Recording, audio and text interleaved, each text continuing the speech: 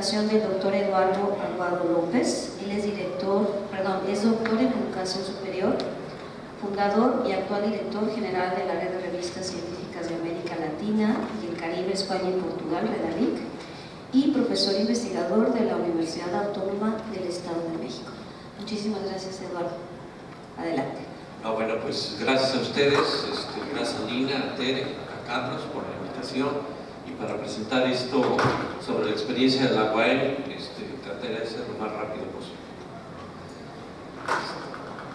La primera experiencia en de la UAM fue en 2003 con la creación de Red League, que hoy tiene 1.120 revistas, cerca de 400.000 artículos.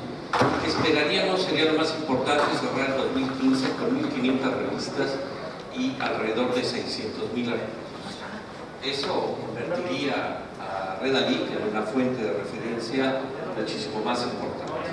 Pueden dejar para las preguntas porque eso vamos a crecer este, en 50% en un año y con todo gusto lo respondemos.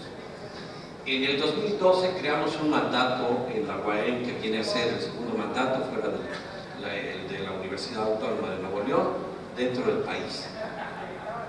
En el 2013, este, a través de Ariana Becerril, se participó en nuestra universidad como miembros fundadores de REME. En el 2014 creamos un repositorio institucional que hoy tiene cerca de 10.000 documentos. En el 2013 eh, hicimos con UNESCO una campaña sobre acceso abierto que ganó este, un premio que se denominó este, Acaba con la lata Y en el 2014 trabajamos antes del 20 de mayo que se promulgó la ley de acceso abierto directamente con la senadora Natalia Herrera antes de, diría yo, un año y medio antes este, para este, apoyar y impulsar esta iniciativa. Tuvimos múltiples reuniones en CONACYT para esto y entre, con la cual la UAM jugó un papel importante para que esta iniciativa fuera aprobada y promulgada en nuestro país y también participamos con la Universidad de Stanford, la Universidad de Ghana en un MOOC que tuvo alrededor de 18.000, 20.000 participantes con una experiencia también de acceso abierto que nos pareció bastante importante. Y en el 2015 hemos creado una página para que todos los investigadores tengan, este, muestren todo su currículum en línea, que de hecho es un proyecto que queremos hacer también con la Universidad de San Luis y todas las universidades que quieran integrarse y que nos parece que es una necesidad, porque el PeopleSoft que maneja el SNI, pues creo que no es lo más adecuado. Todos los investigadores debiéramos tener una página que muestre toda nuestra producción en términos de transparencia, interoperabilidad, comunicación y demás.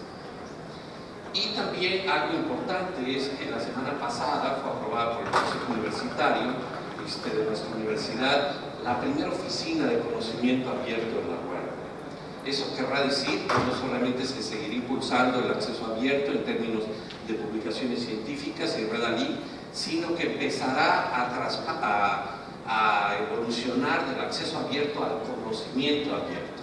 Es decir, la utilización de software, de software abierto, la utilización de, este, de, documentos en abierto para, las, para, pues para la docencia, la utilización del open courseware, etcétera, etcétera. Creo que hemos hablado muchísimo del acceso abierto, pero con esto abrimos otra vez. Y también dentro del 2015 haremos, este, bueno, se publicará la traducción del famoso libro de Peter Sewell, este, particularmente con una traducción de Remedios Melero, que estará este, disponible en impreso y en electrónico, evidentemente en acceso abierto creo que antes de hablar de la, bueno, para no seguir hablando de la experiencia en la UAM, nos permitiríamos hacer algunas preguntas que este, estarían muy articuladas con el asunto del repositorio nacional. Y diríamos, ¿y de qué manera puede Redalí participar o colaborar con estos programas? ¿Cuál es la capacidad real de alimentación y de autoarchivo de los, de los repositorios institucionales? Es una pregunta fundamental que tenemos que hacernos porque sabemos que crecen los repositorios, pero no, necesariamente al mismo ritmo crecen los contenidos dentro de los repositorios. O se alimentan básicamente de tesis y no necesariamente de artículos científicos. ¿Cuál es la capacidad de la situación legal ante la simple reutilización y depósito de archivos que están en abierto? La cuestión que nos planteaba Remedios. Las instituciones pueden simplemente recoger, cosechar mediante OAI, PMH, trabajos de sus autores y depositarlos en su repositorio institucional, aunque no cuenten explícitamente con el derecho de transmisión y difusión de dicho contenido las instituciones cosecharán los, trabajos mediante OAI de repositorios de la vía dorada o agregadores que han realizado el trabajo de normalización. Y si es así, esta lógica de desenvolvimiento no pone en cuestionamiento la sustentabilidad y permanencia de los repositorios donde se cosecha esa información y en consecuencia la futura alimentación de los repositorios institucionales. Y por último, la pregunta cuáles son los repositorios que tienen o podrían tener de forma adecuada, normalizada, las ascripciones de los parece fundamental. Y en este sentido nos plantearíamos qué puede hacer Red Ali para poder apoyar los repositorios institucionales. Y en este caso, o si fuera el caso, el repositorio nacional. Y lo que planteamos es que en términos de Remedy había 103 repositorios de 57 instituciones, 79 repositorios institucionales y 24 repositorios de red. Es decir, el traslado de metadatos de, este, los artículos que tiene Redalí de las instituciones, que ahorita vemos. Y en la referencia hay 57 repositorios, 37 repositorios institucionales que han trasladado sus metadatos y este, 24 repositorios de Redalí de los metadatos de las instituciones mexicanas. Ahí estarían, eh, tomamos la página del Remedy, donde por ejemplo están los repositorios institucionales del lado izquierdo y los repositorios universitarios que han sido trasladados los metadatos de rueda de texto. Y si vemos, por ejemplo, este, pongo el ejemplo del Cormex, donde eh, el catálogo de la biblioteca trasladó 1063 documentos, 271 del Centro de Estudios Económicos, y a través de, este, de se trasladaron 1308 documentos de los investigadores del Colegio de México que publicaron en diversas este, revistas de Redalix. ¿Qué sucedería con esto? Que en México, si vemos a la referencia, hay cerca de 100.000 pero de los cuales 45.901 son artículos científicos. De estos, 35.000, alrededor de 35.000, son aportados mediante metadatos por Es decir, alrededor del 80% de los artículos de México se trasladan mediante a la referencia. ¿Por qué razón?